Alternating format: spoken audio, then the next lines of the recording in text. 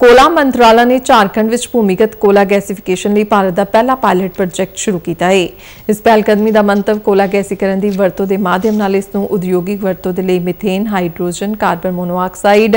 ਅਤੇ carbon dioxide ਵਰਗੀਆਂ ਕੀਮਤੀ ਗੈਸਾਂ ਵਿੱਚ ਬਦਲਿਆ ਜਾਣਾ ਹੈ ਇਹ pilot project Coal India Limited ਯਾਨੀ CIL ਅਤੇ ਸਹਾਇਕ ਕੰਪਨੀਆਂ ਦੇ ਲਈ ਵਿਸ਼ੇਸ਼ ਉਪਲਬਧੀ ਹੈ ਇਸ ਪ੍ਰੋਜੈਕਟ ਦੇ ਅੱਗੇ ਵਧਣ ਨਾਲ ਭਾਰਤ ਊਰਜਾ ਆਤਮ ਨਿਰਭਰਤਾ ਦੀ ਦਿਸ਼ਾ ਵਿੱਚ ਮਹੱਤਵਪੂਰਨ ਯੋਗਦਾਨ ਪਾਵੇਗਾ